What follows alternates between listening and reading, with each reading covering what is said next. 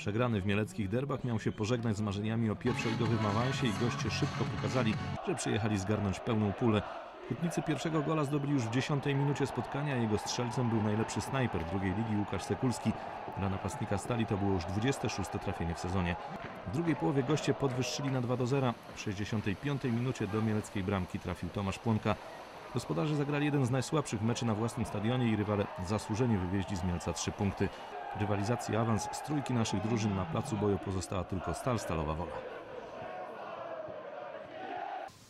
Chłopcy po czterech meczach bez, bez zwycięstwa mm, potrafili w meczu derbowym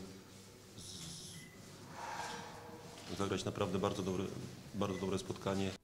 W tabeli Stal Stalowa Wola jest szósta z dorobkiem 50 punktów. Do prowadzącego tercetu drużyn ze Śląska, Zagłębia, Rowu i Rakowa traci tylko 3 punkty.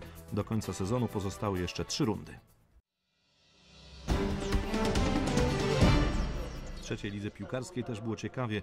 Korespondencyjny pojedynek o awans toczą dwie rzeszowskie drużyny, Stali Resowia oraz Karpaty Krosno.